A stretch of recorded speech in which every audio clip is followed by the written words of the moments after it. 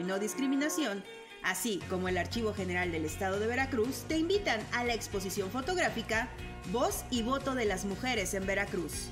Acompáñanos a hacer un recorrido a través del tiempo con la finalidad de conocer cómo las mujeres se han involucrado en la vida política.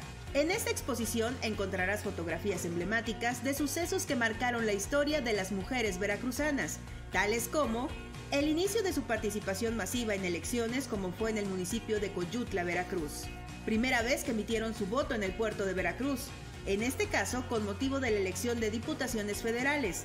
Fotografías que datan de 1955.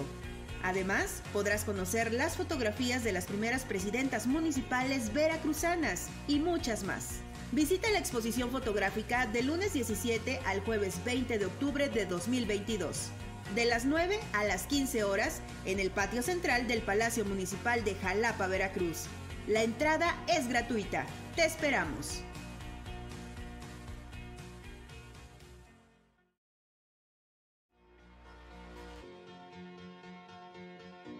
El Oplo Veracruz, a través de la Comisión Permanente de Igualdad de Género y No Discriminación, así como el Archivo General del Estado de Veracruz, te invitan a la exposición fotográfica Voz y Voto de las Mujeres en Veracruz. Acompáñanos a hacer un recorrido a través del tiempo con la finalidad de conocer cómo las mujeres se han involucrado en la vida política. En esta exposición encontrarás fotografías emblemáticas de sucesos que marcaron la historia de las mujeres veracruzanas, tales como el inicio de su participación masiva en elecciones como fue en el municipio de Coyutla, Veracruz.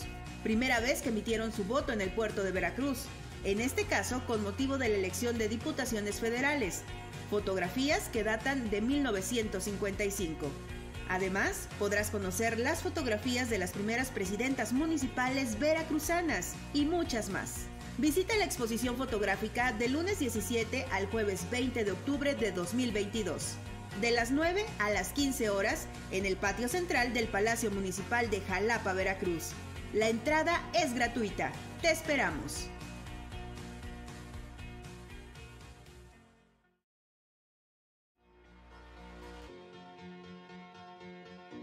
El Oplo Veracruz, a través de la Comisión Permanente de Igualdad de Género y No Discriminación, así como el Archivo General del Estado de Veracruz, te invitan a la exposición fotográfica Voz y Voto de las Mujeres en Veracruz. Acompáñanos a hacer un recorrido a través del tiempo con la finalidad de conocer cómo las mujeres se han involucrado en la vida política.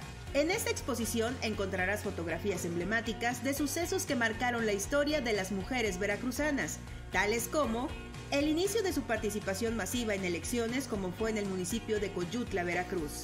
Primera vez que emitieron su voto en el puerto de Veracruz, en este caso con motivo de la elección de diputaciones federales.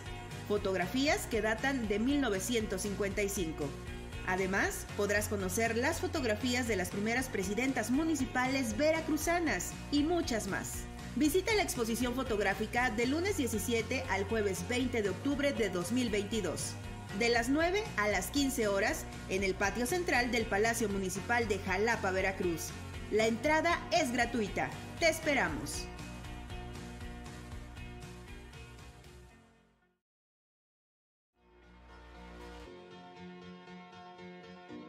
El Oplo Veracruz, a través de la Comisión Permanente de Igualdad de Género y No Discriminación, así como el Archivo General del Estado de Veracruz, te invitan a la exposición fotográfica Voz y Voto de las Mujeres en Veracruz.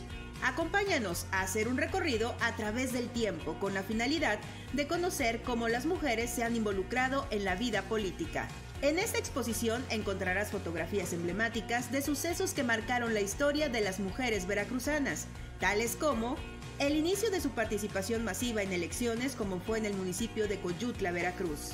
Primera vez que emitieron su voto en el puerto de Veracruz, en este caso con motivo de la elección de diputaciones federales, fotografías que datan de 1955. Además, podrás conocer las fotografías de las primeras presidentas municipales veracruzanas y muchas más. Visita la exposición fotográfica del lunes 17 al jueves 20 de octubre de 2022, de las 9 a las 15 horas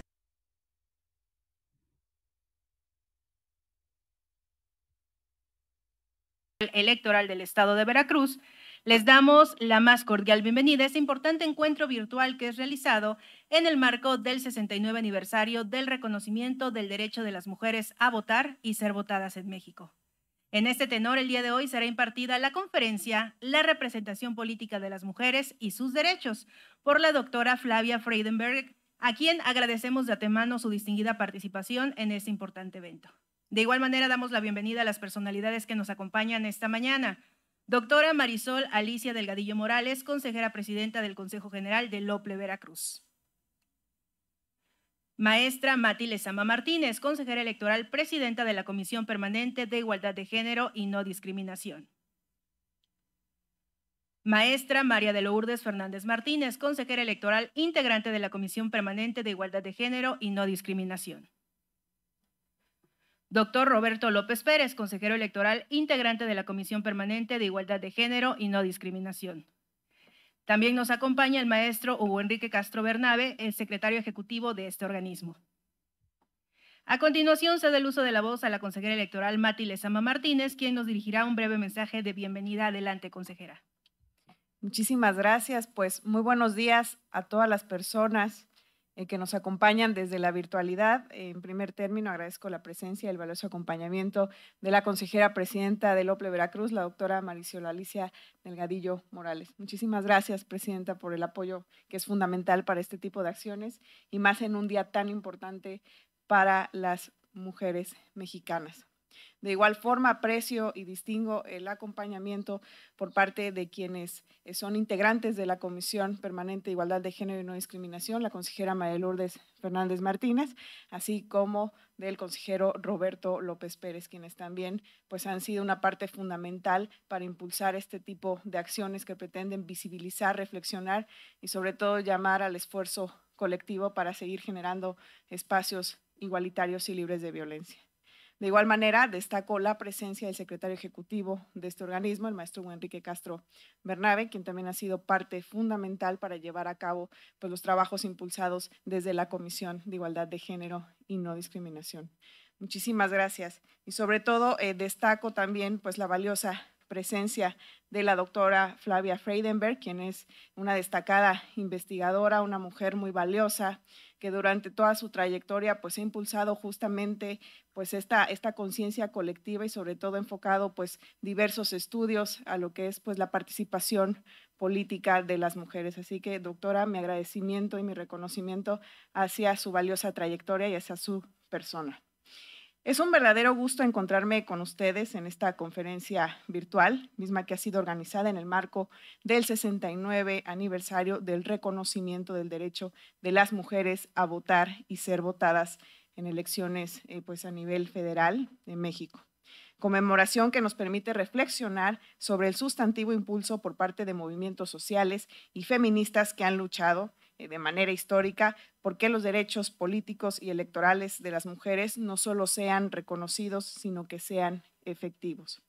Este acontecimiento tiene como origen el 12 de febrero de 1947, fecha en que fue publicado en el diario oficial de la Federación el decreto para permitir a las mujeres su participación como votantes y como candidatas en las elecciones eh, municipales en igualdad de condición que los hombres. Evidentemente hay registros que incluso hay estados que ya empezaron a hacerlo muchísimo antes de esta fecha. Posteriormente, el 17 de octubre de 1953, pues fue promulgada la reforma constitucional que otorgó el reconocimiento del derecho de las mexicanas a gozar de la ciudadanía plena. Esto es, pues que todas las mujeres tuvieran la oportunidad de decidir mediante el sufragio en todo el territorio mexicano, tanto en elecciones municipales como federales. Ello pues marca una pauta en nuestra vida democrática, ya que pues dio paso a que el 3 de julio de 1955 las mujeres en México tuvieran la oportunidad de emitir su voto por primera vez en la historia, siendo en esta ocasión para la elección a diputaciones federales de la cuadragésima tercera legislatura. Hecho crucial, pues que hasta el día de hoy continúa siendo un referente en el movimiento sufragista, que además de abrir eh, brecha en materia de participación política de las mujeres, también significó un avance positivo en la democratización de la ciudadanía mexicana. Y pues gracias a este cúmulo de esfuerzos colectivos y de una lucha incansable, es que el día de hoy honramos a todas aquellas mujeres que con gran valentía y persistencia han dedicado su vida a sumar esfuerzos por la progresividad de nuestros derechos políticos, mismos que nos ha otorgado más y mejores oportunidades para desenvolvernos en la vida pública como lo fue en 1979, cuando en nuestro país resultó electa eh, Griselda Álvarez, primera gobernadora en este caso, al frente del estado de Colima. Y así hay eh, sucesos históricos que han marcado definitivamente la pauta en el desempeño de las mujeres en la esfera pública y política. Así que, eh, bueno, pues de nueva cuenta, mi agradecimiento a quienes nos acompañan desde la virtualidad y, por supuesto, a Lople Veracruz por todo el apoyo para generar este tipo de acciones. Doctora, de nueva cuenta, bienvenida y para nosotras, para nosotros es un alto honor tenerla esta mañana aquí con nosotros. Muchas gracias. Muchas gracias, consejera. Ahora cedo el uso de la voz a la consejera electoral María de Lourdes Fernández Martínez, quien será la encargada de presentar a nuestra conferencista invitada, así como del desarrollo de este evento. Adelante, consejera. Muchísimas gracias, Elka. Muy buen día a todas las personas que nos siguen. Previo al inicio de esta conferencia, me permitiré dar lectura a la síntesis curricular de nuestra eh, ponente la doctora Flavia Freidenberg es investigadora titular C de tiempo completo definitivo e del Instituto de Investigaciones Jurídicas de la Universidad Nacional Autónoma de México. Ella es profesora del posgrado de Ciencias Políticas y Sociales e integrante del padrón de tutores del posgrado en Derecho de la misma universidad. Es beneficiaria del reconocimiento del programa de primas al desempeño del personal académico de tiempo completo nivel C miembro del Sistema Nacional de Investigadores del CONACIT nivel 2. Es doctora por la Universidad de Salamanca y máster en estudios latinoamericanos por la misma Casa de Estudios. Periodista por el taller Escuela Agencia y licenciada en Ciencia Política por la Universidad de Belgrano en Argentina directora académica del Observatorio de Reformas Políticas de América Latina de la Organización de los Estados Americanos y del Instituto de Investigaciones Jurídicas de la UNAM. Es directora del proyecto PAPIT, la, la capacidad de resiliencia de la democracia en América Latina, es coordinadora de la Polis Paritaria eh, desde el año 2021. Es fundadora y coordinadora de la red de politólogas No Sin Mujeres para visibilizar las, las brechas de género existentes en la ciencia política desde el 2016. Ha sido también profesora de grado y posgrado en universidades de Argentina, Brasil, Ecuador, El Salvador, España, Francia, Guatemala, Honduras, México, Nicaragua, República Dominicana y Uruguay. Sus investigaciones han versado sobre elecciones, partidos y sistemas de partidos, reformas electorales, instituciones informales, representación eh, política de las mujeres, medios de comunicación, opinión pública y el papel de las mujeres en la ciencia política con el apoyo de la UNAM de la Organización de los Estados Americanos, del Centro Carter, del Instituto Nacional Electoral, del Tribunal Electoral del Poder Judicial de la Federación, de la PNUD, del eh, National Empowerment for Democracy, del Instituto Electoral de la Ciudad de México, del Ministerio de Educación y del Ministerio de Innovación y Ciencia de España, de la Secretaría General Iberoamericana, de la Agencia Española para la Cooperación Internacional y el Desarrollo, del Banco Interamericano de Desarrollo, del International IDEA de Ágora Democrática Ecuador y del Instituto Interamericano de Derechos Humanos CAPEL. Dirigió el proyecto Reformas Electorales y Democracia en América Latina de la UNAM, eh, el de representación paritaria, de la representación descriptiva a la sustantiva, evaluando la implementación de la paridad de género en los congresos mexicanos, y el de sistemas de partidos subnacionales y calidad de la democracia en América Latina, del Ministerio de Innovación y Ciencia Política de España 2010-2014. Durante su carrera ha tenido el honor de ser directora del Instituto Universitario de Iberoamérica de, la Universidad de Salamanca en España del 2012 al 2015. Eh, subdirectora también ha sido eh, respecto de este mismo eh, instituto. editora asociada del Latin American Research Review, del Latin American Studios Association, investigadora también titular de la cátedra CONACID Jesús Silva Herzog en el Colegio de San Luis Potosí. Ha sido también miembro del Comité Académico y Editorial del Tribunal Electoral del Poder Judicial de la Federación, del Comité Editorial del Instituto Nacional Electoral, directora académica del doctorado en estudios latinoamericanos y del máster en estudios latinoamericanos. Nuestra ponente también durante más de 15 años fue directora y editora de América Latina Hoy, eh, revista en ciencias sociales, editora fundadora del blog de investigación con distintos acentos.com del 2013 al 2015 y coeditora del primer eh, saque blog de análisis e investigación de Oráculos y la revista Política y Gobierno fundadora también del grupo de investigación sobre partidos y sistemas de partidos en América Latina de ALACIP, del que fue su, coordinadora también de 2009 a 2015. Miembro del Consejo eh, Ejecutivo de la Asociación Latinoamericana de Ciencia Política, ALACIP, del 2008 al 2013, y tesorera de la Asociación Española de Ciencia Política del 2009 al 2013.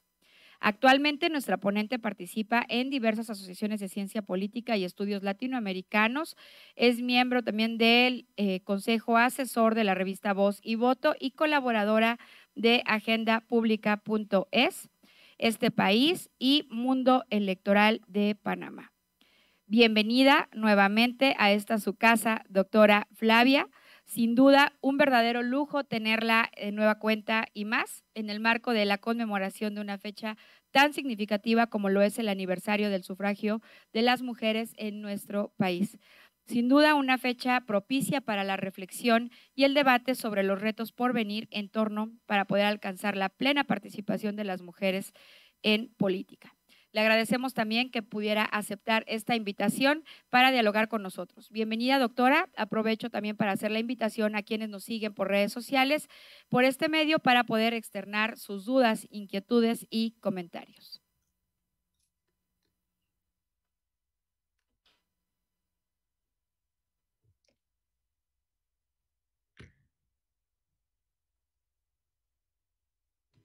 Muchas gracias, eh, doctora, eh, maestra María de Lourdes Fernández Martínez, y damos, por supuesto, ahora sí, la bienvenida y el, uso de la voz a nuestra conferencista invitada para iniciar precisamente con esta plática, la representación política de las mujeres y sus derechos. La doctora Flavia Freidenberg, adelante.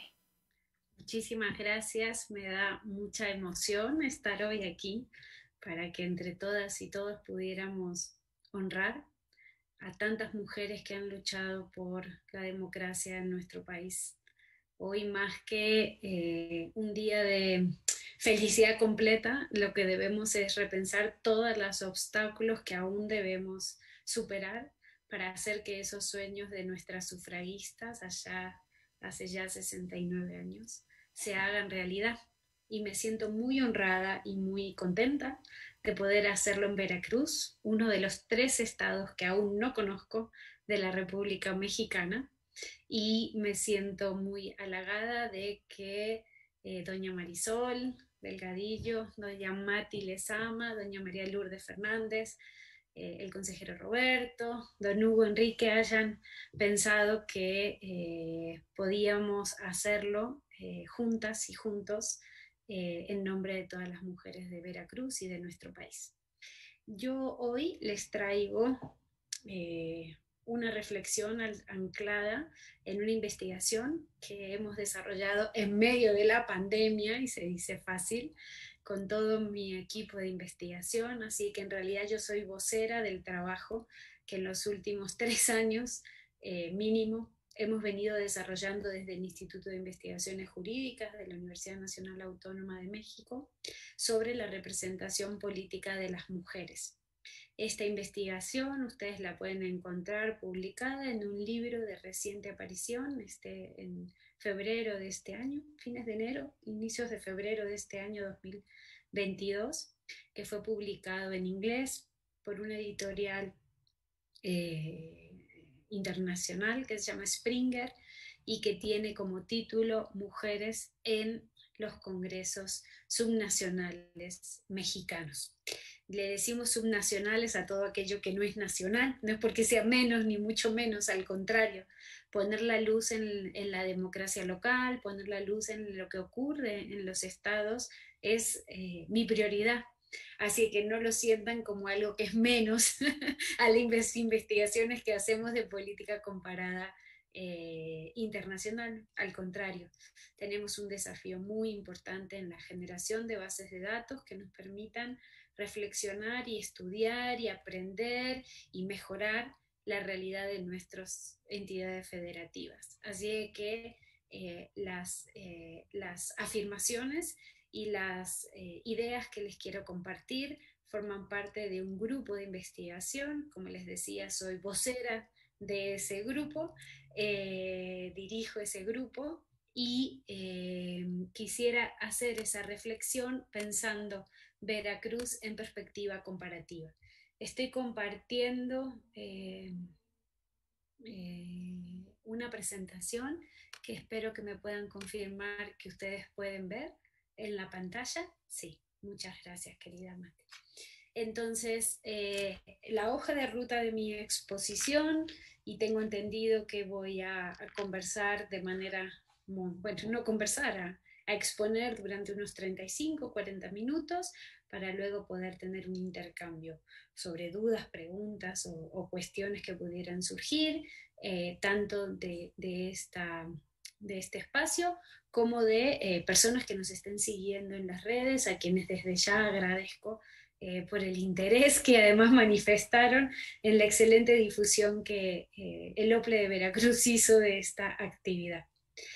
Yo quisiera plantear el problema de investigación porque creo que hay una serie de conceptos que es necesario hacerlos viajar desde la academia al, mundo público, a la opinión pública y también a las personas que toman decisiones, ¿no? que trabajan en los organismos públicos locales electorales en México o que están en los institutos de las mujeres o incluso que están en los congresos mexicanos.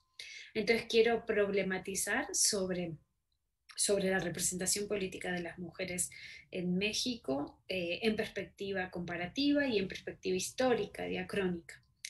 Luego les quiero contar lo que nosotros nos planteamos como grupo de investigación respecto a las preguntas que nos hicimos, las hipótesis y los datos que construimos eh, a través de este trabajo de campo mitad virtual, mitad presencial que hicimos, porque como les decía, nos tocó desarrollar la investigación en medio de una pandemia. Y hacer investigación es difícil, pero hacer investigación en medio de una pandemia no se crean que es tan sencillo, ¿no?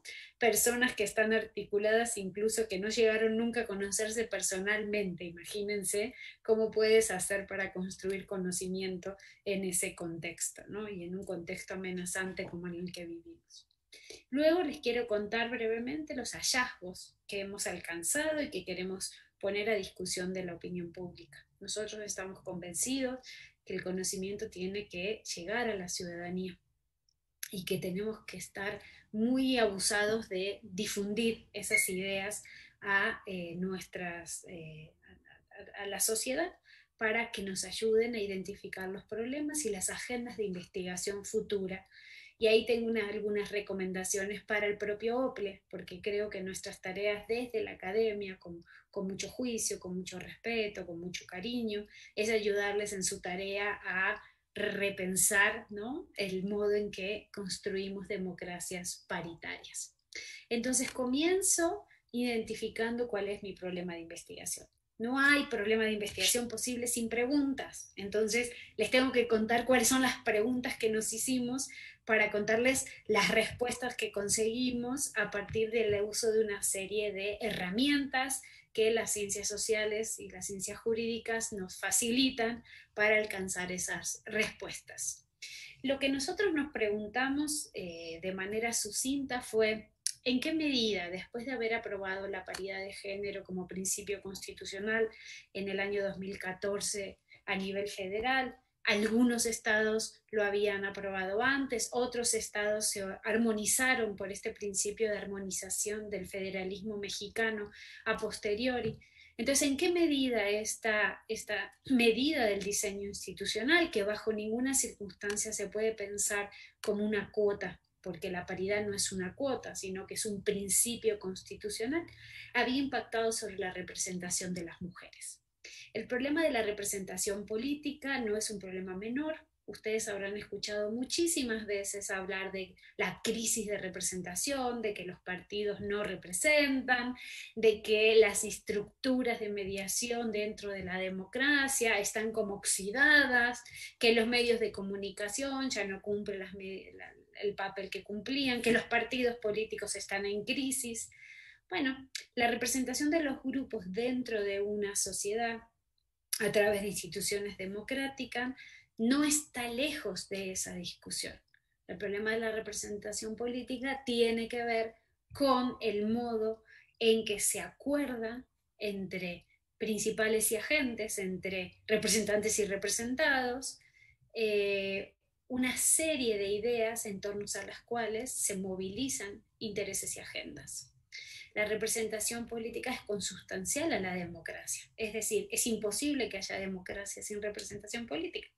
Lo que pasa es que no toda representación política mejora el funcionamiento de la democracia. Ustedes pueden tener democracias donde participan en elecciones hombres blancos de clase media que son electos únicamente hombres blancos de clase media que impulsan ideas y agendas de hombres blancos de clase media y que desarrollan políticas públicas para señoros blancos de clase media. Y no tengo ningún problema con los señores blancos de clase media. Ustedes podrían tener una democracia así y seguir llamándola democracia. Y eso nos pasó históricamente. Grupos específicos de la sociedad se adjudicaron por tradición, por historia, porque era la manera de hacer las cosas, la representación de la diversidad de la sociedad y durante muchísimos años dijimos que ese sistema político era democrático, sin mirar quiénes participaban, quiénes votaban, quiénes eran electos y cuáles eran las políticas públicas que se defendían. Por eso Pamela Paxton, en un trabajo fantástico de la década de los 80, que luego revisita y discute, o, Tripp, en 2013, inclusive yo, un poco inconsciente, en el 2015, dijimos, la democracia es imposible sin mujeres.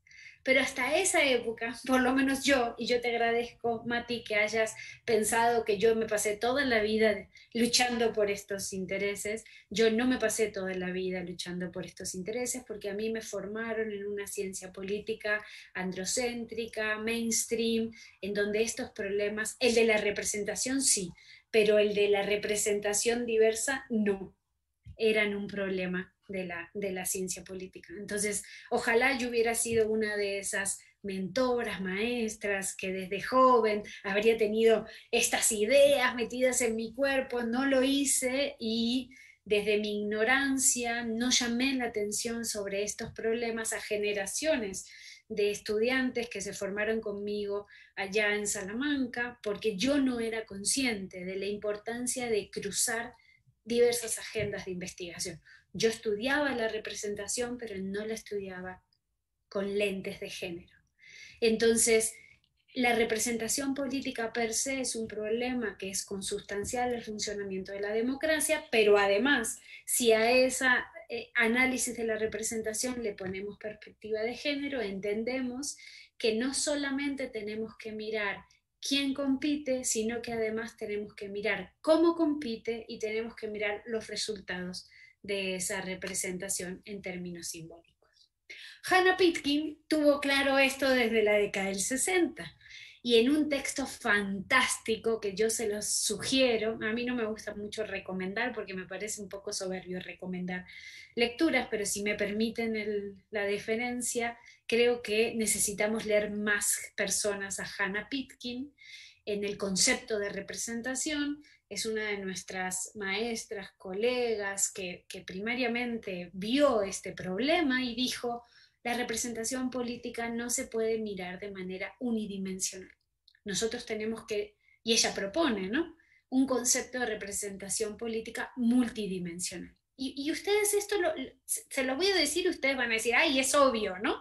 Van a decir, hay una representación que se produce en las leyes. Claro, hemos aprobado un montón de leyes para decir quién puede acceder a un cargo, cómo se accede a ese cargo, ¿no? Es esa representación como autorización que viene de la norma, que es la representación formal. ¿Dónde la encuentro? La encuentro en la Constitución, la encuentro en la LEGIPE, la encuentro en, en los reglamentos y en los lineamientos que los soples se han dado para establecer el modo en que las y los políticos compiten y acceden a las candidaturas. Y Hannah Pitkin dice, esta es importantísima, porque esta es como que te dice cuáles son las reglas a partir de las cuales tú puedes competir. Pero dice, no es la única. Hay otra dimensión de la representación, es como un rompecabezas, ¿no? Y dice, la segunda dimensión, no, no porque sea menos importante, sino segunda en el orden que la voy a exponer, es ver en qué medida las representantes, los representantes, funcionan en semejanza con los representados. Es decir, los que acceden a los escaños se parecen o no a quienes los eligen. Y eso se llama representación descriptiva. Cuando yo les el Congreso de Veracruz en este momento es paritario, lo que estoy diciendo es un número, estoy diciendo hay mitad de legisladoras y hay mitad de legisladores, ¿no? Y ese dato, Maxi, es cierto, ¿no? Estamos de acuerdo con que es paritario. Hay un número de mujeres y un número de hombres. Desde una categoría binaria, ¿no? Todavía no entramos en esa discusión de las personas que no son binarias, ¿sí? Porque la paridad se pensó en términos binarios, en, inicio, en principio, ¿no? Todo aquel que se autoascribe como hombre va para un grupo y todo aquel que aquella que se autoascribe como mujer va para otro grupo. Esa representación descriptiva es fundamental. Si yo tengo que el 50% de la población de Veracruz es mujer y no le representa el 50% de los escaños de una cámara, lo que podría decir es que hay un problema de representación descriptiva.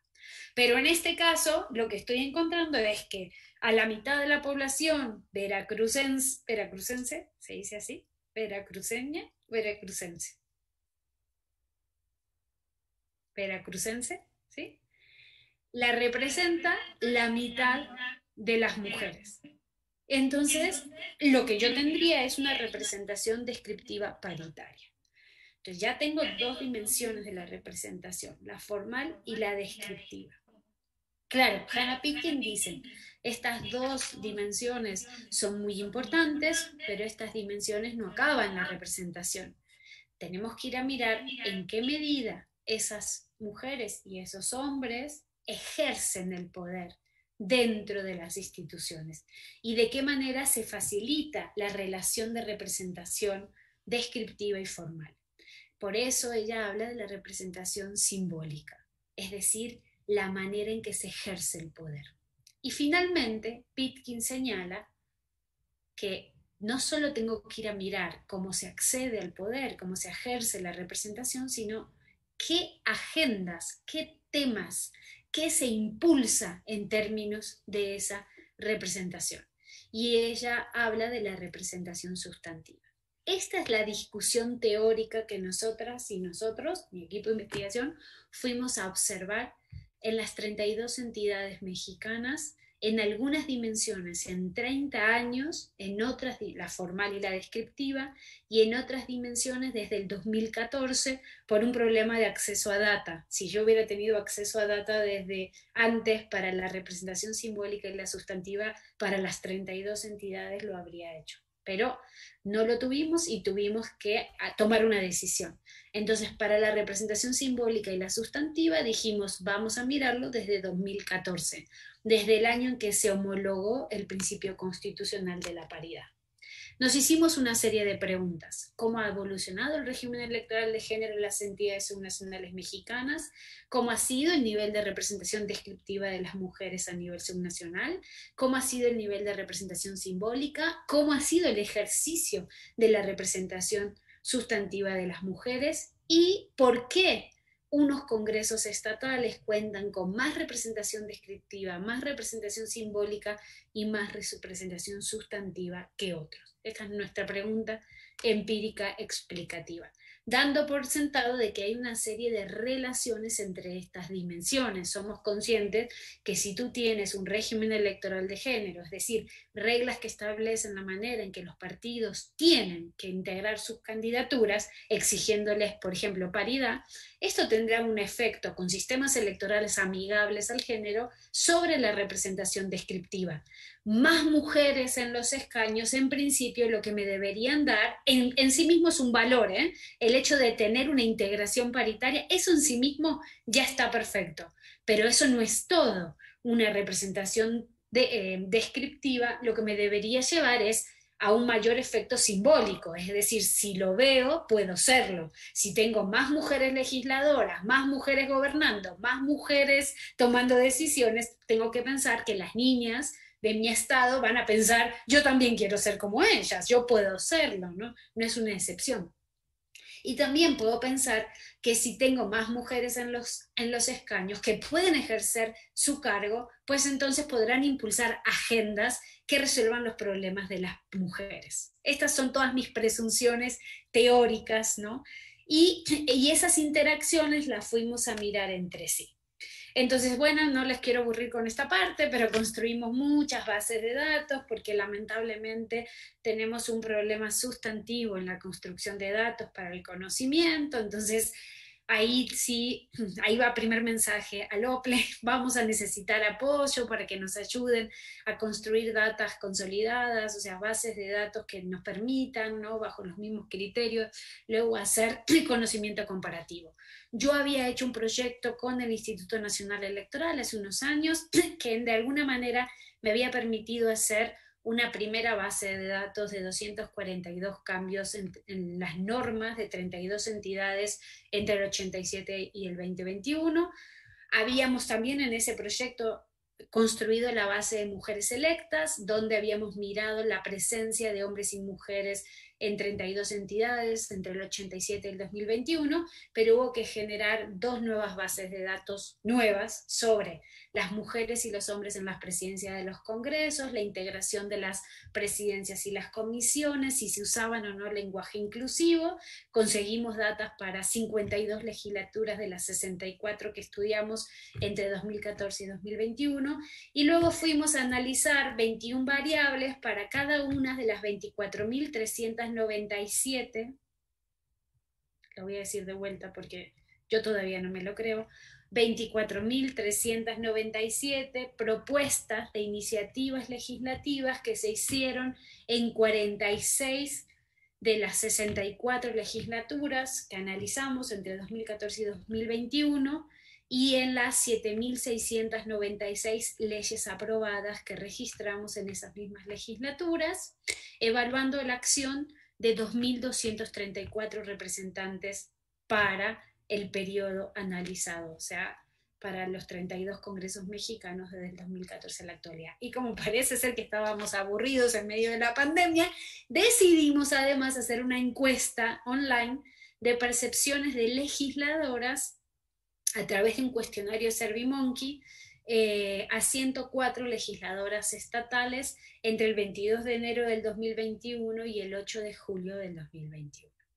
Usamos métodos mixtos, método comparativo de unidades subnacionales y observamos nuestro objeto de estudio desde un enfoque, el del neoinstitucionalismo feminista, que es el que en estos momentos estamos como como nubiladas porque nos ayuda a entender cómo funciona la relación entre instituciones y comportamientos, tomando en cuenta las desigualdades de género que viven nuestros contextos, nuestros países.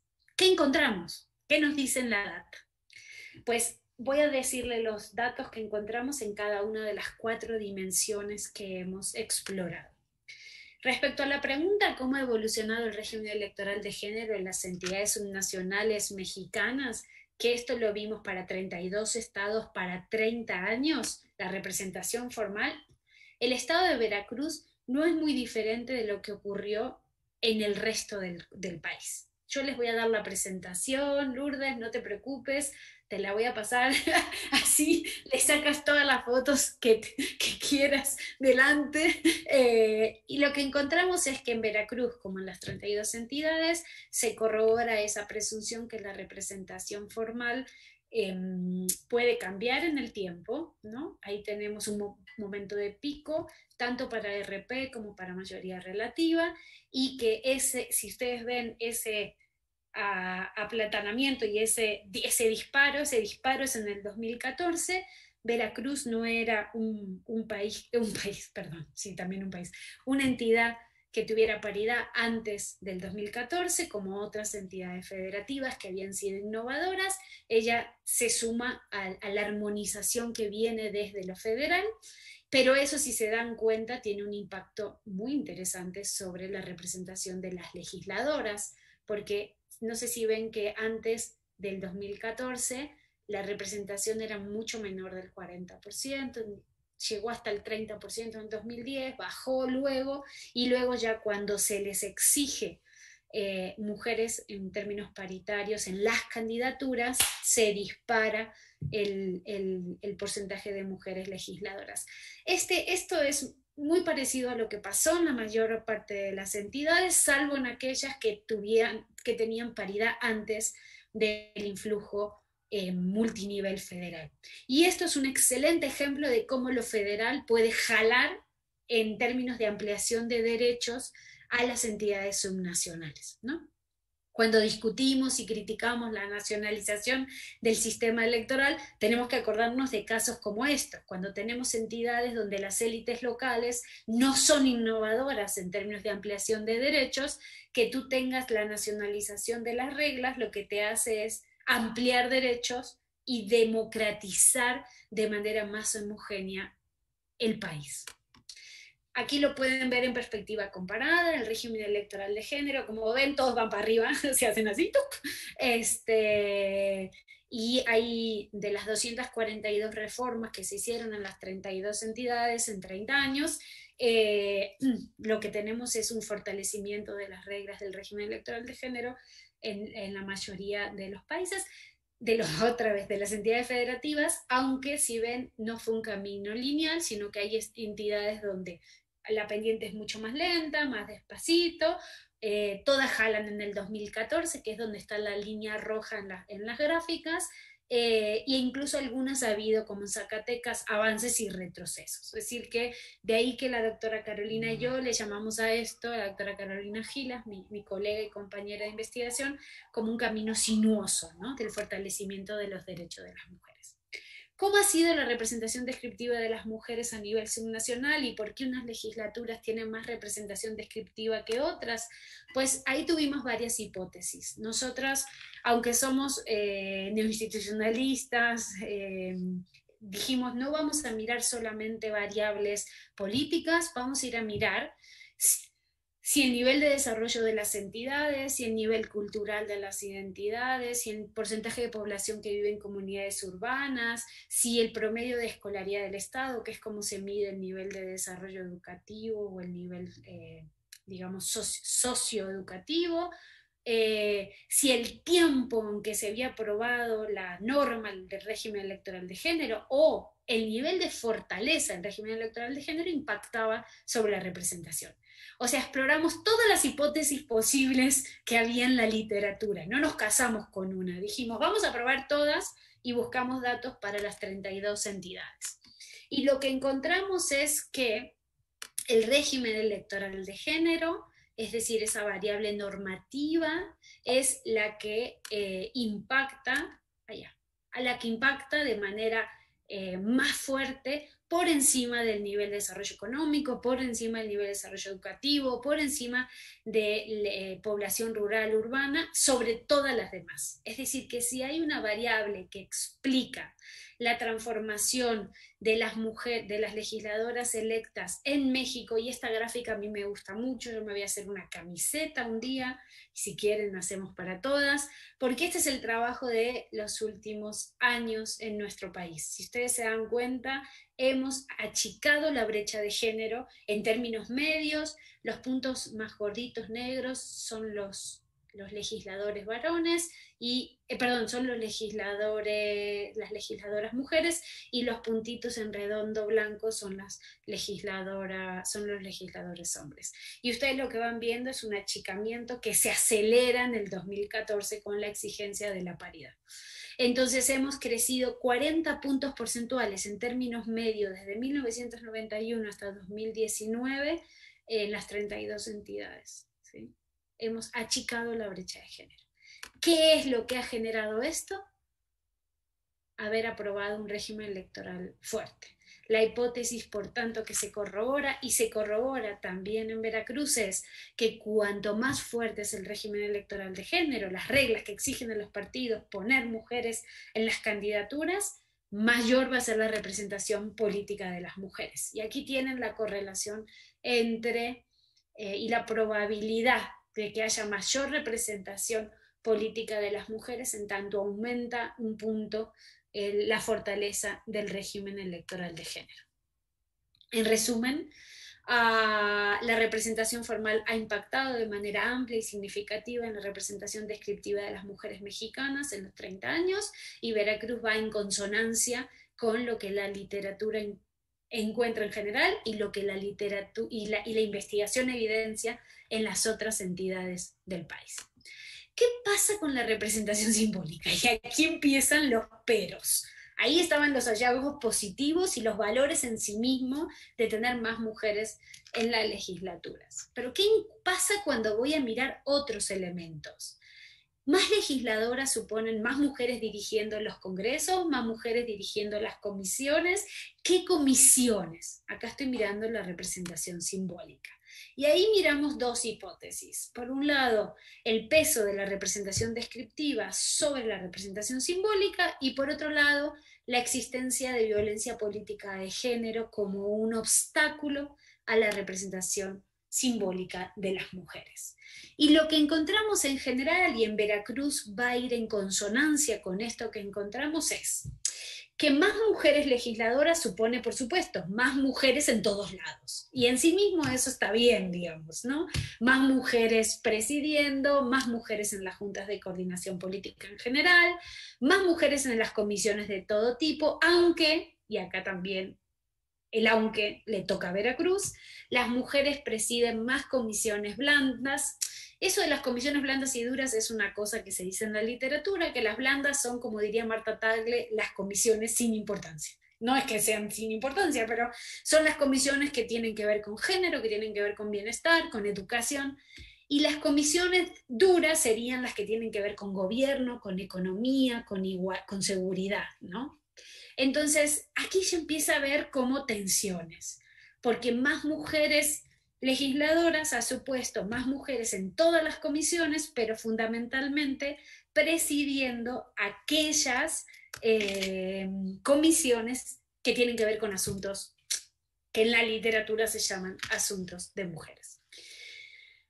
En el Congreso de Veracruz en particular, pero también en general, no se ha podido identificar un uso extensivo del lenguaje inclusivo. Ustedes me dirán, pero esto es importante. Bueno, las palabras importan, entonces, no sé a ustedes, pero a mí cada vez que alguien dice ciudadano, no me, no me interpela. Yo no me siento ciudadano. Yo no me siento los hombres del país. Yo no me siento parte del Congreso de Diputados. Ustedes dirán, pero Flavia, ¿tan importante es esto? Bueno, la literatura más constructivista sobre, el sobre los discursos se preguntan cómo hablan los congresos. Y los congresos mexicanos subnacionales siguen hablando en masculino. Y eso da cuenta, y el Congreso de, Veracruz sigue hablando en, en masculino. Y eso da cuenta de que están invisibilizando el papel de ciudadanas de las mujeres. ¿no? Revisamos los boletines de prensa y no encontramos señales de lenguaje inclusivo en la manera en que se dirige el Congreso hacia las y los legisladores y la manera en que se dirigen los y las diputadas hacia la ciudadanía. ¿sí? La palabra ciudadano aparece constantemente en las iniciativas que se presentan, en los discursos de tomas de posiciones o discursos de, instauración, en los discursos en general, tanto de los hombres como de las mujeres que representan a las y los veracruzanos. Cuando revisamos y hicimos la investigación, también fuimos a mirar si el Congreso tenía una estructura que pudiera contribuir a la construcción de las democracias paritarias. Y lo que identificamos es que no había unidad de género, que sí había un centro de estudios para la igualdad de género y los derechos humanos que se había aprobado el 30 de enero del 2014 en los artículos 18 y 57 de la Ley Orgánica del Poder Legislativo, que había estaba también reglamentado en el artículo 31 del Reglamento de los Servicios Administrativos del Congreso del Estado, que ese, ese centro estaba pensado, lo cual está muy bien, para desarrollar diagnósticos que ayuden a mejorar las políticas, las iniciativas que se presentan y las políticas públicas que se impulsan, pero que en la práctica no se registra funcionamiento activo de este centro de estudios. Por tanto, no hay unidad de género, la unidad de género en realidad tiene que ver con el trabajo del Congreso, del funcionamiento del Congreso, y el Centro de Estudios Legislativos tiene que ver, tendría que ver con hacer los diagnósticos y las propuestas para resolver los problemas del Estado. Y aquí entonces ya lo que encontramos en, lo encontramos en Veracruz, pero en la mayor parte de las entidades es una deficiencia en la estructura, digamos, burocrática y organizativa de los congresos en términos de democracia paritaria. Cuando vamos a las presidencias de los órganos de dirección del Congreso de Veracruz, en las dos legislaturas estudiadas, tenemos que en el primer periodo que estudiamos había más mujeres presidiendo dirigiendo el Congreso que en el segundo periodo legislativo. Los órganos de dirección, por tanto, tuvieron un retroceso en términos de la presencia de mujeres. Cuando vamos a ver la revisión, ahí señalé con color los nombres de las personas que atentaría una identidad de género femenino.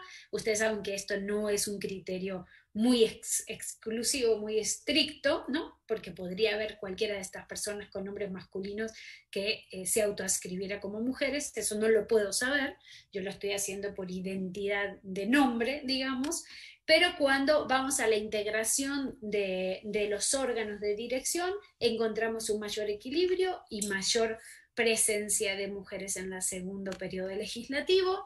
Cuando voy a las presidencias de las comisiones, no hay gran diferencia entre hombres y mujeres presidiendo comisiones duras que presidiendo comisiones blandas. Cuando voy a las comisiones duras, noto claramente en el primer periodo un predominio de hombres, pero un mayor equilibrio en, las comisiones duras en la segunda legislatura entre hombres y mujeres.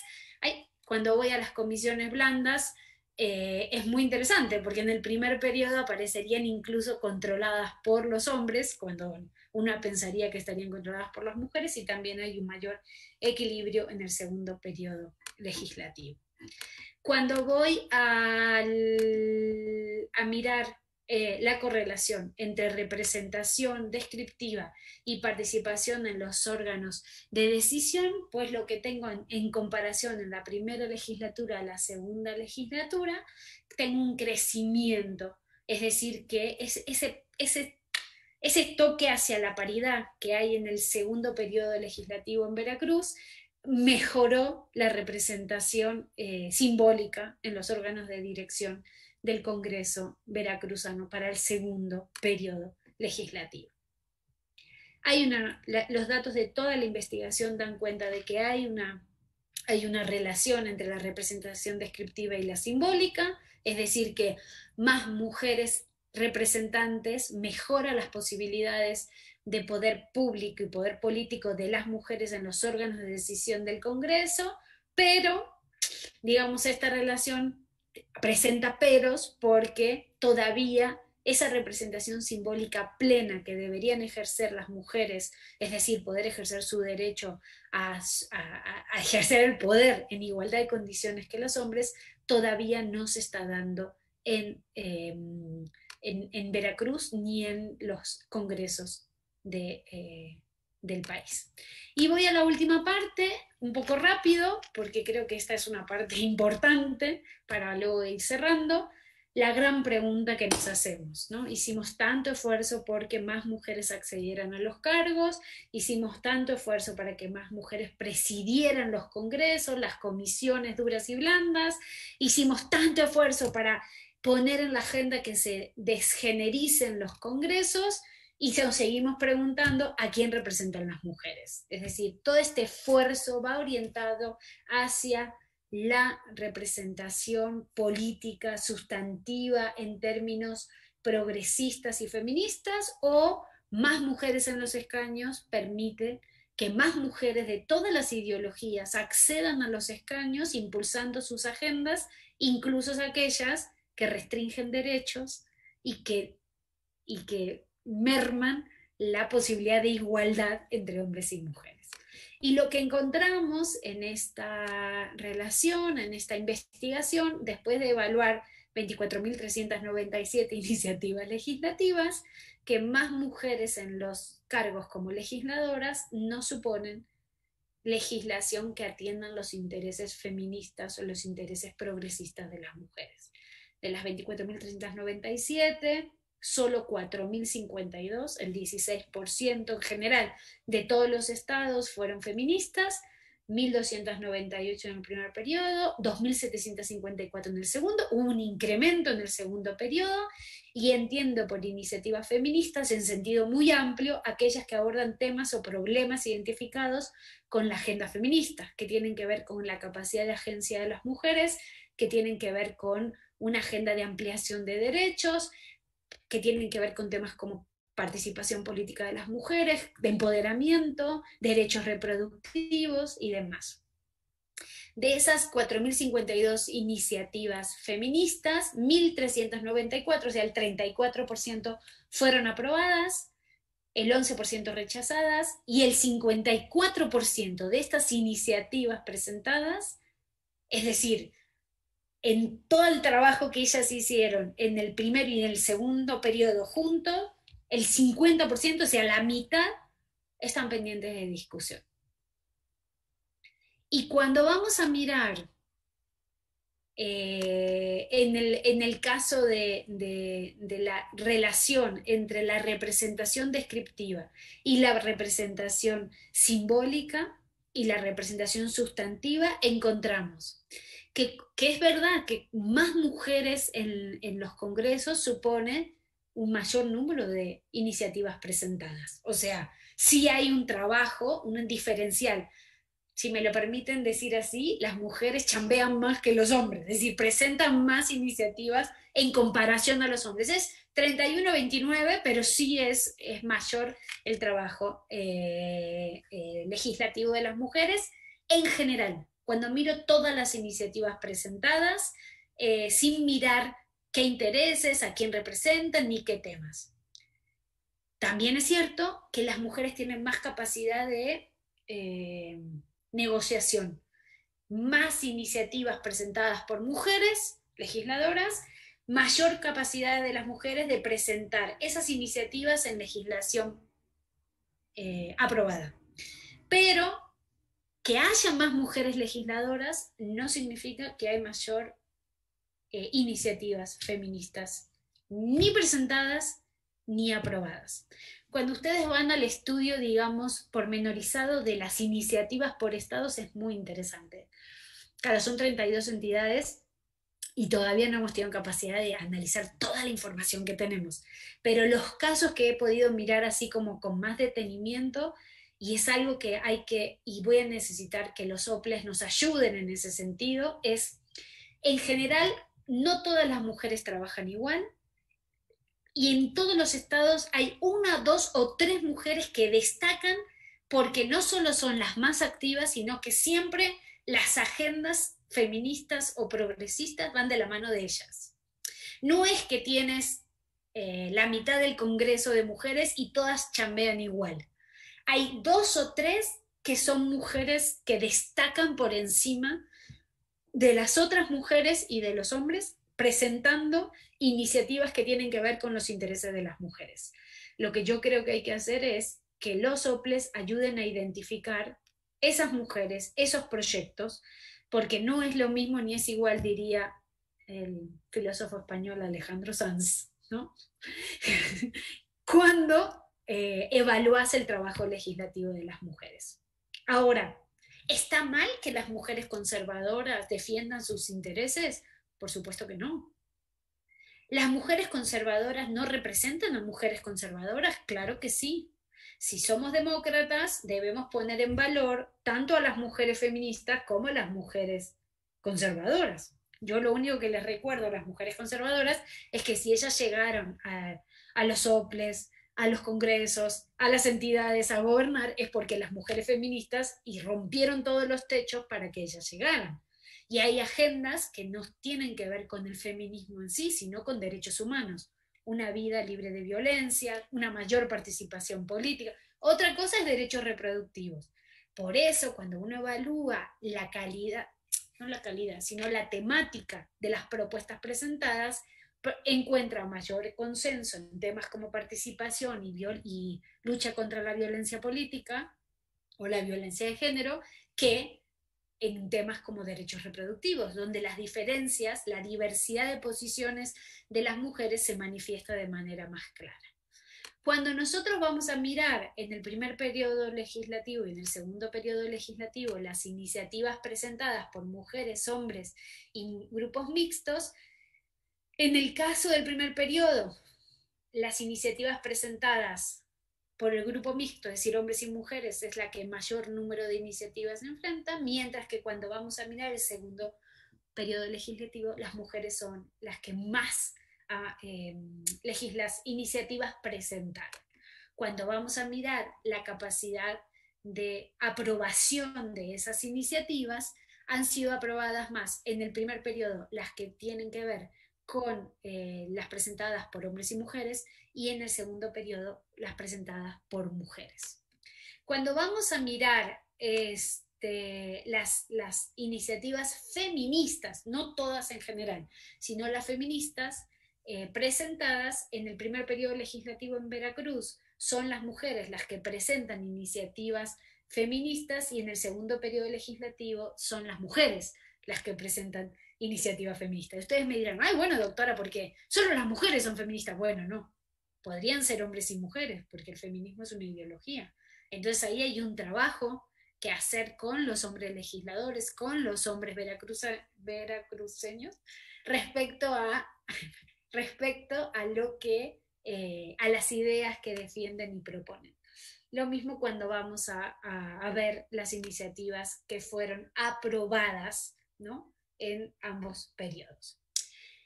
¿Qué son las conclusiones generales? Y con esto voy cerrando. Bueno, a pesar de tener más mujeres legisladoras en, Veracruz y en todo el, en todo el país, lo que vemos es que se continúan privilegiando intereses masculinos y de los partidos políticos. Es verdad que se aprobaron cuatro, más de 4.000 iniciativas feministas, pero esas iniciativas que se aprobaron tienen que ver con dos agendas, la de paridad en todo y la de violencia política en contra de las mujeres. Dos agendas que vienen desde lo federal y dos agendas que tenían acuerdo del partido gobernante respecto a su aprobación. Cuando se presentan en las entidades temas que desafían a los partidos gobernantes o que desafían el status quo, ¿no? Por, por el tipo de iniciativa, esas iniciativas reciben menos apoyo y tienen menos probabilidad de que se aprueben. Por tanto, los intereses de las mujeres se representan cuando no desafían los valores establecidos y cuando no desafían las prioridades del partido gobernante. La investigación también da cuenta de la importancia de poner en la agenda la representación de los intereses de las mujeres conservadoras. No todas las legisladoras son feministas y las conservadoras también tienen derecho a la representación política. Y la otra conclusión a la que llegamos de la revisión de la dinámica legislativa de los dos últimos periodos es que son las propias mujeres las que silencian las agendas feministas evitan la articulación de una agenda que pone en conflicto los valores dominantes o la línea del partido o los valores conservadores que pueden estar primando en las sociedades subnacionales. Por tanto, tenemos reglas, tenemos más legisladoras, pero nos faltan paritaristas y nos faltan feministas en los estados. Y ahí entonces una agenda futura de investigación-acción que me, me gustaría dejarles para que pensemos y repensemos y que también les ayuden a priorizar las agendas de actividades del OPLE en vinculación con el, congreso, con el Congreso en el Estado, ¿no? Porque tenemos que identificar qué hacer para que las instituciones sean sensibles al género. El OPLE, el Congreso, la gobernatura.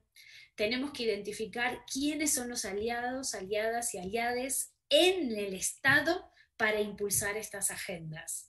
Tenemos que observar y analizar cuál es el vínculo entre esas legisladoras y el movimiento feminista. Debemos impulsar talleres y actividades para desmasculinizar las instituciones, desgenerizar las instituciones. Debemos hacer seminarios y discusiones e investigación que nos contesten a las preguntas a quién representan las legisladoras, a quién representan las legisladoras conservadoras, a quién representan los hombres y qué temas y qué agendas impulsan los legisladores hombres en estos congresos que ya están de por sí masculinizados y generizados debemos reconceptualizar, pero esa es mi chamba y en eso estamos, la representación simbólica para medirla de una manera un poquito más, más ajustada y debemos fomentar y formalizar la formalización de la política, pero también la construcción de redes de avance entre mujeres de diferentes partidos políticos que generen bancadas femeninas que permitan impulsar agendas que estén más allá de las ideologías conservadoras o feministas, sino que impulsen una agenda de derechos humanos. Y esto me parece que podría guiar nuestro trabajo de las próximas décadas respecto a cómo construir democracias más, más eficientes en términos de igualdad y paridad. Este es el libro que les decía, donde pueden encontrar toda la investigación y ese es el portal de representación paritaria donde pueden ahora mismo encontrar todos los materiales, las bases de datos, la información vinculada a este proyecto. Sin más, les agradezco por su atención, siempre agradecida por, la oportunidad que me dan de tener voz pública. Muchísimas gracias.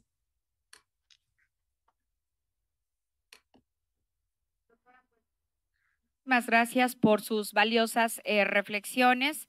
Eh, y a continuación, como ya comentábamos hace un momento antes de iniciar eh, la charla, daremos el espacio a algunas preguntas de quienes nos siguen a través de redes sociales.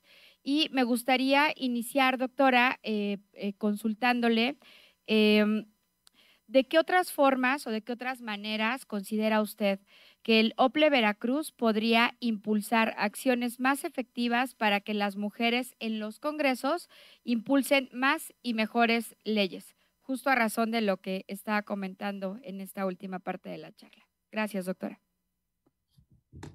Lourdes, ¿hay más preguntas? ¿Quieres hacerme más preguntas para que eh, una vez?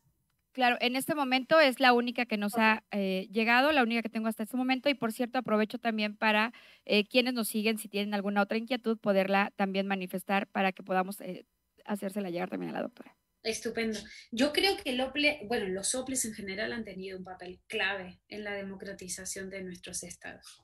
Yo creo que, es más, se generó en los últimos yo llevo ocho años ya acá en México y yo lo percibo desde ese momento, pero seguramente es desde antes. Pero mi experiencia personal me da cuenta de que el trabajo de los soples de manera lineal sobre eh, el impulso a las normas que regulaban el acceso de las mujeres a las candidaturas su acción como Rottweilers y como Bulldogs, revisando que esas reglas se cumplen. y al mismo tiempo generando un clima de opinión en la opinión pública de los estados respecto a que estas reformas llegaban para quedarse y que la construcción de la democracia paritaria eh, era algo que no solo era una agenda de las mujeres, sino que era una agenda de hombres y de mujeres. Yo he visto muchísimos hombres comprometidísimos en las entidades federativas con estas ideas. Eso fue fundamental. Donde yo veo que, hemos que tenemos, como decimos en México, más áreas de oportunidad. Eh, eso es un mexicanismo para mí, ¿eh? porque en, mi mundo eso sería, ¿qué tenemos que hacer para cambiar? Pero te lo voy a decir en mexicano para que no se me ofenda. Yo creo que tenemos que fortalecer a los observatorios. Los observatorios tienen que ser herramientas, los observatorios estatales, herramientas para que podamos tener más, más y mejores diagnósticos. ¿sí? No les voy a contar en este momento todas las penurias que pasamos para conseguir la data una data que los observatorios tendrían que tener de manera, digamos, eh, actualizada y, em, digamos, inmediata para que la ciudadanía pueda acceder a ella. ¿no? No se dejan ayudar. Yo llevo con un proyecto de apoyo a los observatorios desde hace ocho años, nadie me hace caso, pues yo sigo, ¿no? Pero no se dejan ayudar, porque yo feliz de, mil amores me siento y les digo, el portal tiene que ser así, así, así, así. Lo que necesitamos es esto, esto, esto y esto. Esa data yo ya la tengo, porque yo la tuve que ir a buscar por otro lado. Pero esa es data que, que debería tener las y los veracruceños, es decir, todos deberían poder acceder. Y entonces, en vez de hacerme mapitas, ¿no? de apretar botones que hacen color, yo necesito números, necesito poder hacer investigación. Entonces, creo que el OPLE puede, en su trabajo en los observatorios locales, ayudar muchísimo, por un lado, a sistematizar todas las decisiones, toda la información, toda la data que tiene que ver con la construcción de la paridad. Lo otro que debe hacer el OPLE, a mi juicio, es hacer un concurso ¿Un concurso para qué? Para que las y los ciudadanos que quieran de su estado desarrollen investigaciones sobre esa data o sobre otra data que ayude a construir la democracia paritaria. Lo otro que tiene que hacer el OPLE para mí es no quitar, tercero, ¿no? Los dientes de la norma. Es decir, me acuerdo el día que una vez creo que fue en Tabasco, me mostraron el semáforo, ¿no? Había un semáforo, ¿no? Entonces, si venían las candidaturas, si no cumplían con lo que decía el lineamiento, sonaban las, alarmas. Y yo decía, ¿qué les pasa? Es el semáforo. Eso quiere decir que, entonces, eso quería decir, es una metáfora para decir que los soples no tienen que sacar los ojos de las candidaturas. Y ahí tiene una tarea fundamental el OPLE, cuarto de pedagogía con los partidos políticos. Durante las legislaturas anteriores, los soples, los que yo vi, ¿no? yo viajaba mucho a los estados, entonces pude verlo más directo, se sentaban con los partidos políticos y le decían, mira hermano o mira hermana, que en estos distritos vos no vas a poder presentar hombres, porque por estas características, esos son distritos perde, eh, ¿cómo es? No vas a presentar hombres porque son distritos perdedores, ¿no? Según el principio de competitividad. Yo creo que toda esa función de pedagogía que se hizo con los partidos hay que seguir haciéndola y hay que seguir haciéndola con las y los periodistas. Hay que sentarse con los periodistas a explicarles cómo funcionan las reglas de la paridad. Y hay que sentarse con la ciudadanía y explicarles cómo funcionan las reglas de la paridad. Entonces, creo que hay tareas de sistematización de información, que hay tareas de formación y capacitación, que hay tareas de pedagogía cívica, ¿sí? Y hay tareas de control público de la norma. Las leyes solas no consiguen la paridad.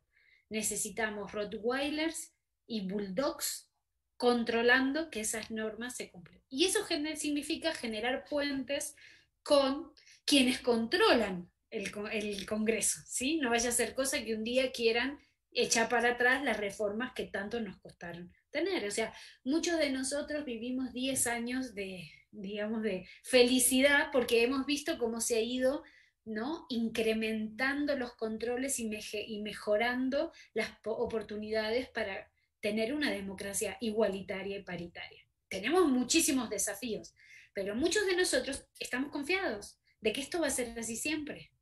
Y como me enseñó mi maestra Line Vareiro, cada vez que avanzamos en la lucha por los derechos de las mujeres o las diversidades o los grupos vulnerables, viene un retroceso. Entonces no podemos dar por sentado que todo el mundo es paritarista, que todo el mundo es feminista. Y yo lo que agregaría a esa agenda es una mayor pedagogía sobre qué es el feminismo. Yo no creo que todas las mujeres de, por nacimiento tengan que ser feministas, como tampoco creo que esta sea una agenda solo de las mujeres. Eso es una decisión. Yo puedo decidir estar de acuerdo con unas medidas y no estar de acuerdo. La democracia tiene que darle cabida a todas y todos. Pero eso si jugamos en una cancha pareja. El problema está en que las feministas no juegan en la misma cancha y esa cancha no es pareja en las entidades federativas. Y más en los últimos años con estos grupos o movimientos religiosos, antiderechos, que cada vez más están socavando las bases de la democracia liberal. Entonces yo creo que el OPLE también tiene, les estoy dando mucha chamba, pero tienen que tener una agenda de diversidad y pluralidad. Identificar bien quiénes son las personas que defienden una y otra posición. Y tiene que ser un espacio plural. La democracia no es, la democracia que anhelamos no es una democracia solo de hombres o solo de mujeres. Yo no estoy aquí sentada para el predominio de las mujeres. Yo estoy aquí sentada para construir democracias paritaristas, democracias igualitarias. Y el OPLE tiene una función de pluralidad en su nacimiento. Ustedes son diversos, ustedes son plurales y qué bueno que sea así. Imagínense que todos pensemos igual. Eso no sería democrático. Entonces, lo que tenemos que hacer es generar condiciones para llevar estas ideas a nuestras entidades, porque estoy convencida de la capacidad democratizadora. Roberto, te estoy dando un tuit, apúntatelo. Estoy convencida de la capacidad democratizadora de los soples en, en, en, en todos los países de la región, pero en particular en nuestra entidad mexicana. Muchas gracias, eh, doctora. Sin duda, me parece que son elementos que eh, debemos eh, impulsar y retomar, por supuesto, en el OPLE Veracruz. Me parece que toda política pública, todo proyecto eh, requiere justamente de la sistematización de los datos y por supuesto también del involucramiento eh, de la ciudadanía en estos temas. Em, además, doctora Flavia, me gustaría ahora sí expresarle algunas de las preguntas y comentarios que han llegado a través de redes sociales, si me permite. Dice, estimada Flavia, ¿Qué tan lejos estamos para lograr que como sociedad mexicana olvidemos el uso de cuotas? En este caso, a favor de las mujeres. Esto es que incluso se logre de manera natural la designación o elección del 100% de la integración de colegiados o cargos sin que esto sea obligatorio, lo cual pudiera representar el resultado de una educación basada en la igualdad y erradicación del machismo. Por otro lado, doctora Flavia, también eh, nos comentan, mi única duda sería, ¿cuál sería su postura con relación a la representación no binaria dentro de los eh, congresos? Eh, por último, también expresan, propone entonces dejar de lado la ideología entre partidos políticos para impulsar la agenda feminista y expresan también gran conferencia, que por cierto eh, coincidimos, me parece, todos con esta, con esta expresión. Eh, le dejo el uso de la voz, doctora Flavia. Si hay alguna inquietud, por supuesto, eh, repito alguna de las expresiones que comentaron. Muchísimas gracias, qué bueno que generó intercambios, me encanta. Muchas gracias a quienes nos siguieron, ¿no? supongo que en las redes, por YouTube lo deben estar viendo o por Facebook, ¿no? Así es, doctora. Facebook y YouTube. Me encanta, me encanta. Voy a ser contundente. bueno, un poco más. Me va a salir la española argentina que llevo dentro. Eh, primero, jamás en la vida le diría a alguien que abandone ninguna ideología. Incluso aquellos que yo no estoy de acuerdo, como los totalitarios, como los antidemocráticos, como los antiderechos. Mi obligación es generar puentes, incluso con las personas que pienso distinto. Jamás le pediría a alguien que deje su ideología. Lo que sí creo es que hay agendas, por ejemplo, en un país donde hay 11 feminicidios diarios. Esa agenda no es de izquierdas ni de derechas, esa agenda es una agenda de derechos humanos. Y eso le toca a los que están en un partido como les tocan a los que están en otro partido. Lo que no se vale es seguir haciendo celoso o la osa, porque son problemas muy complicados. Lo que no podemos es seguir viviendo en un país que matan a 11 mujeres diarios por ser mujeres. Eso es lo que no podemos. Entonces, si tú me tienes que decir que tu partido te obliga a no hacer una agenda para erradicar las violencias, yo te diría, pues sí, revisa en qué partido estás, porque entonces eso va en contra de la democracia y de la seguridad y de la, y de la convivencia democrática. Pero jamás te diría que olvides tu ideología por una agenda.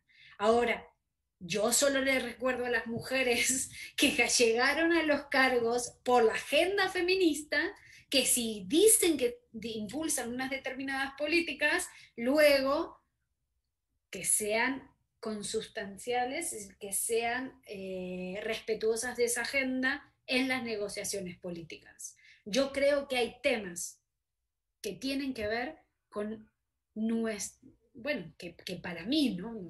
por supuesto que otras personas no, lo deben ver así, pero yo creo que hay temas que urgen que les pongamos el cascabel al gato. No sé si se dice eso en todos los contextos, ¿sí? Y en ese sentido, me parece que si tu partido te dice que no ha determinado impulso de determinada política pública o determinada ley, y esa, no sé, la paridad no habría salido si le hubiéramos pedido permiso a los jefes de coordinación política del Congreso de la Federación, ¿no? Pero había un 30% de mujeres que dijeron cada uno a sus jefes de bancada o a su grupo político, la paridad va porque va. Después vino un presidente y dijo que había sido su idea, pero en la práctica no fue así en la práctica, y hay un montón de evidencia que lo sostiene, es que las mujeres políticas se rebelaron a, a sus líneas partidarias. Si la pregunta es, ¿abandonás la ideología para la paridad? Y bueno, hay veces que hay decisiones, la democracia paritaria está por encima de las decisiones partidarias, ¿no? Pero no creo que eso sea en contra de una ideología, porque la paridad va más allá de la ideología. ¿Qué pasa con la representación no binaria? Uh, es un tema complejo, ¿no? Yo no tengo una posición clara sobre el, tema de la representación no binaria. Creo que es algo que cuando se pensó la paridad no, no se tuvo en cuenta. Tampoco soy consciente de cuál es el número, ¿no? Como dice una amiga mía, no tengo claro si todas las diversidades, todas, ¿no? Por más mínimas que sea, tienen que tener representación en las instituciones. Me queda claro cuando tenés el 50% de la población, ¿no? Si tenés las mujeres 50% de la población y hombres 50% de la población, pero no, no, no, no conozco una sociedad que tenga 50% de la población no binaria. Puede ser que exista, pero yo no la conozco. Entonces, creo que es un tema que tendremos que pensar para las próximas eh, caminos. Lo que no tengo claro es si todas las identidades y todas las representaciones hay que ponerles cuota en los ámbitos de o las instituciones legislativas. Sé que estoy diciendo una cosa que es polémica, pero alguien lo tiene que decir y a veces me toca a mí. Este, y la otra pregunta es, ¿qué tan lejos estamos de olvidar las cuotas obligatorias? Bueno, México ya, ya olvidó las cuotas, o sea, México no tiene cuotas, México tiene paridad. Y la paridad no se olvida, porque la paridad es constitucional. Como dicen unos amigos míos, la paridad llegó para quedarse. Entonces, por más que te guste o no te guste, las instituciones, las decisiones, la representación es paritaria.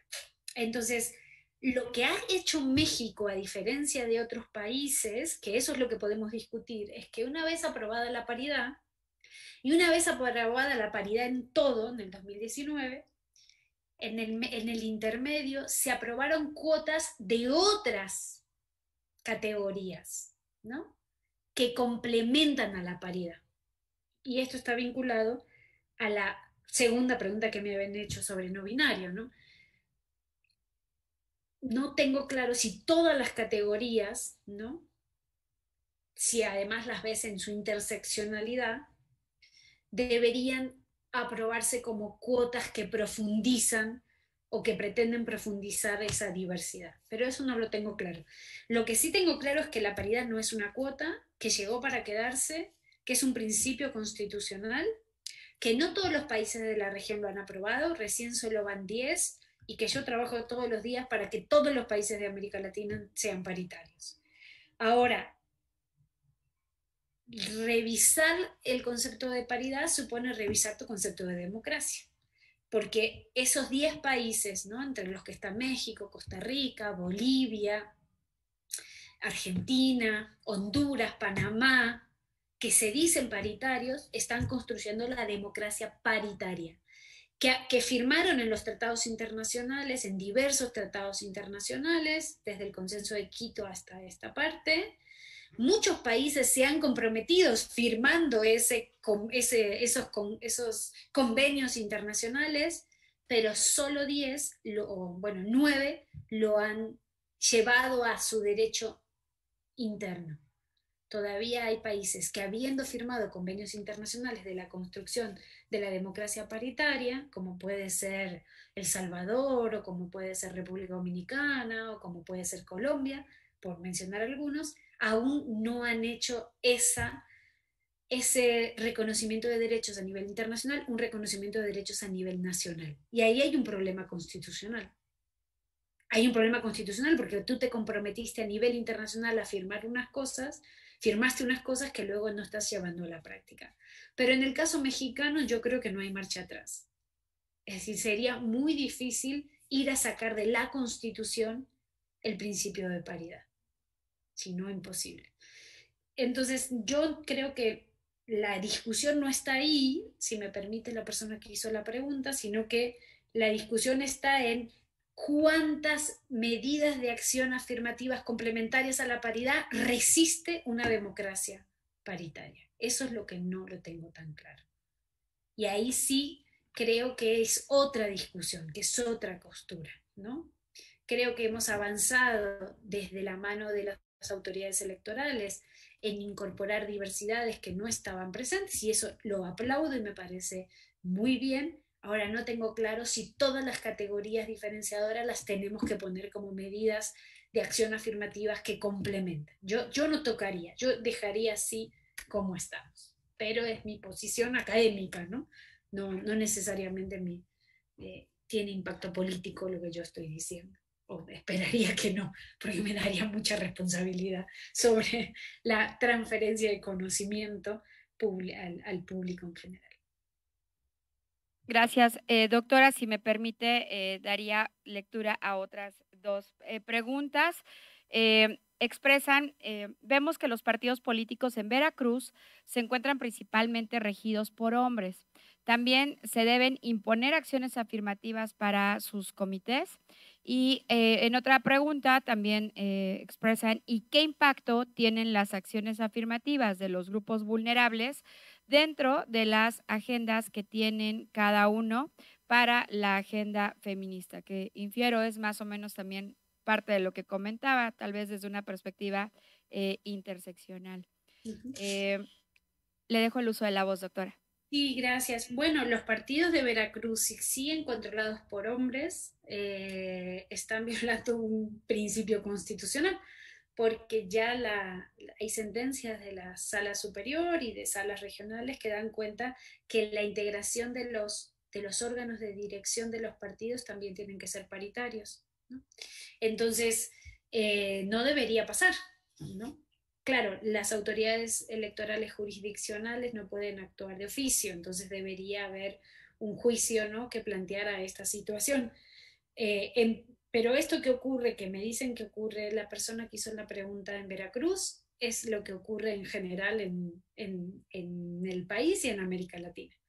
Nosotros contamos 123 partidos políticos que recibirían como la, la categoría de relevantes es una categoría de la ciencia política para decir que tienen capacidad de fuerza electoral, capacidad de negociación, capacidad de chantaje, son categorías de la ciencia política, y encontramos que en 123 partidos relevantes actuales en la región, solo 19 están presididos por mujeres. Es decir, que no es algo, los partidos políticos siguen siguen sin entender que no entienden, siguen reproduciendo patrones de comportamientos, de relación, de, mm, reglas generizadas, ¿no? Que, no apuestan por la igualdad. Y con respecto al impacto ¿no? de la agenda de los grupos eh, en situación de vulnerabilidad sobre la agenda feminista, me parece que es una, una, pregunta sumamente, las, dos, ¿no? bueno, las cinco, sumamente interesantes. Bueno, las seis, fueron seis preguntas, perdón. Este, me parece que esta pregunta es muy relevante.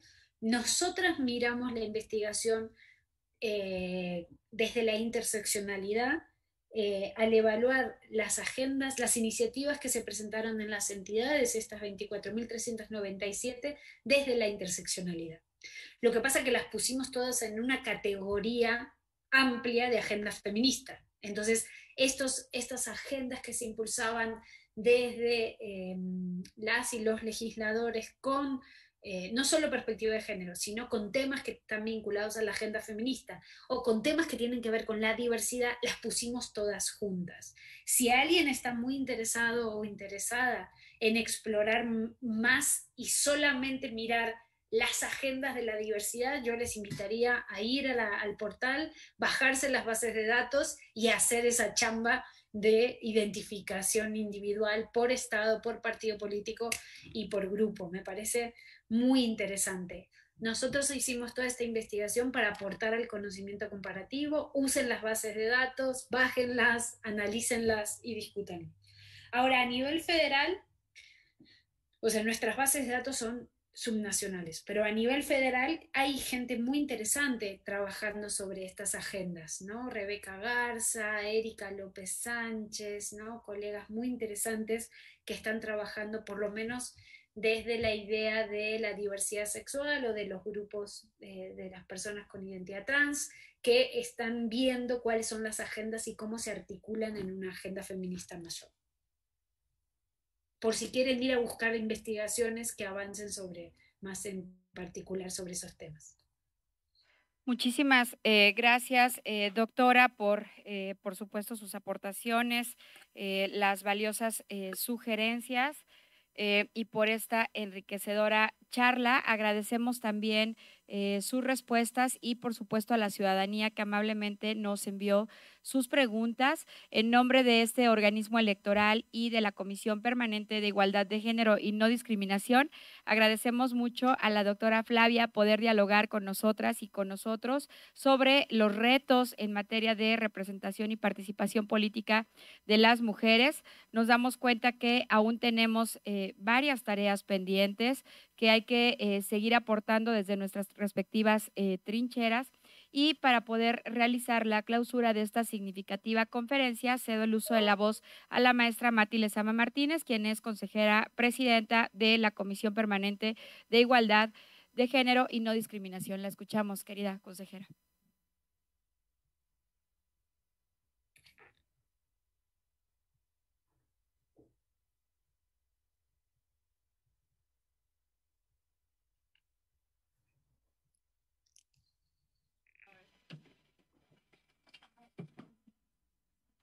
Si logran escucharme, me parece que sí.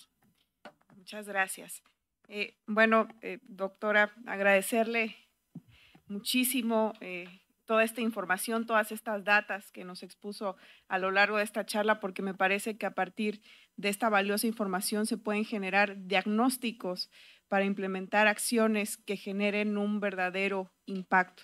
Coincido en que debemos de, ¿cómo era la palabra? Desmasculinizar justamente a las instituciones desde un tema tan importante y a lo mejor que a veces pasa desapercibido como lo es el uso del lenguaje inclusivo. Es decir, como se refería a la palabra ciudadano, no representa a las mujeres.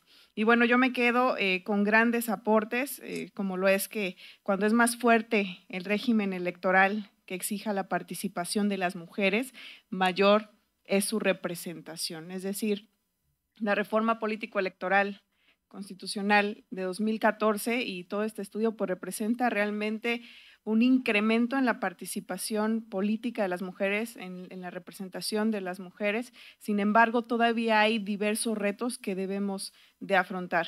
Incluso haciendo una breve reflexión, pues hoy conmemoramos 69 años de, de la reforma que nos dio el derecho de votar y ser votada. Sin embargo, por ejemplo, aquí en el estado de Veracruz, pues es apenas dos legislaturas que contamos con congresos paritarios.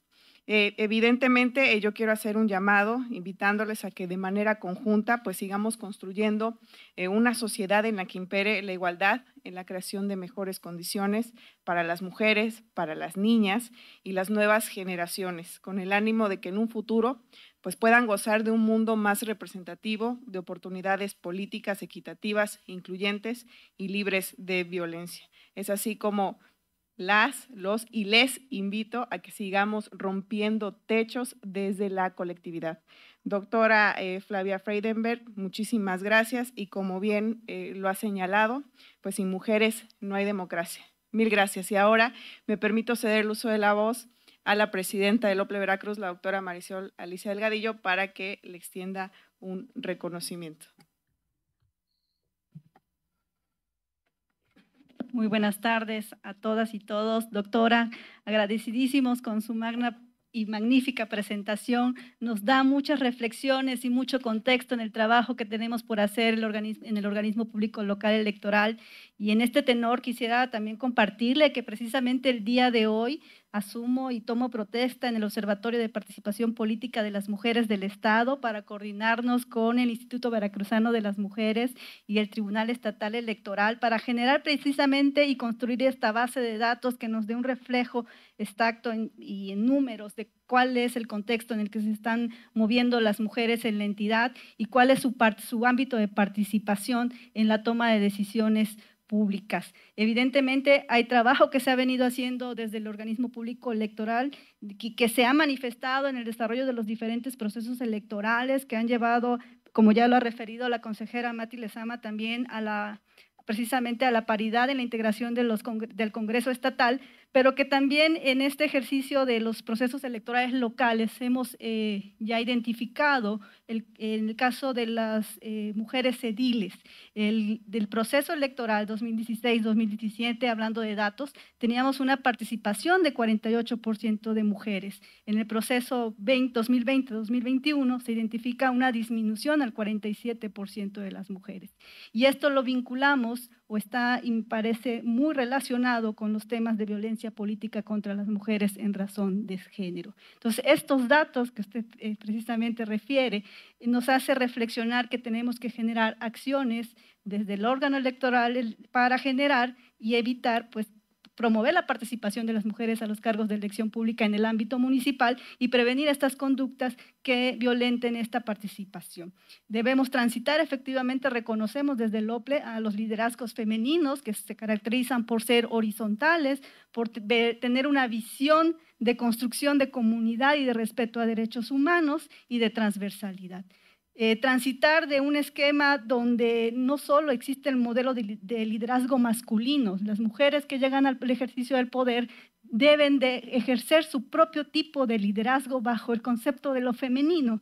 Y lo femenino es eso, eh, generar también condiciones para que otras mujeres, las futuras, las niñas, pues tengan las condiciones para acceder a las postulaciones y a cargos de elección popular. Y una vez en el ejercicio del poder, pues podamos generar normatividad legislaciones locales, federales, políticas públicas locales, federales que trasciendan hacia mejores condiciones a las mujeres. Y entonces, en este tenor, pues vamos en el camino, hay mucho trabajo por hacer, evidentemente, pero asumimos ese compromiso desde el Consejo local en el Estado, donde está integrado también por primera vez por cuatro mujeres, con tres consejeros también muy este, participativos, colaborativos, sororos, y entonces estamos, creo, en las condiciones para generar eh, la preparación de los futuros procesos electorales bajo el principio de garantizar paridad, igualdad y no violencia política contra las mujeres en razón de género. Y pues finalmente, en este contexto,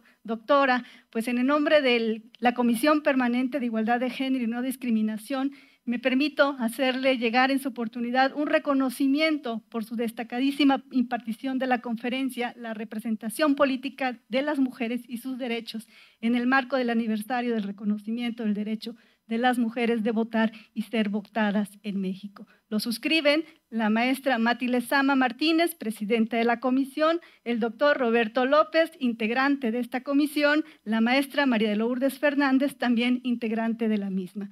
Jalapa Enríquez Veracruz, al 17 de octubre de 2020. Muchísimas felicidades y muy agradecidos y esperemos pronto tenerla físicamente en Veracruz para que ya quitemos de, de los estados pendientes, por favor. Un placer. Y es así como finaliza este encuentro que el organismo público local electoral del Estado de Veracruz, a través de la Comisión Permanente de Igualdad de Género y No Discriminación, preparó para todas y todos ustedes, agradeciendo a la ciudadanía que nos honró con su presencia en este evento Esperando podamos también contar con su distinguida asistencia el día de mañana a las 11 horas en la conferencia virtual Las instituciones electorales en el ejercicio de los derechos políticos de las mujeres mexicanas, la cual será impartida por la maestra Beatriz Claudia Zavala Pérez, consejera electoral del Consejo General del Instituto Nacional Electoral. Que tengan una excelente tarde y muchísimas gracias.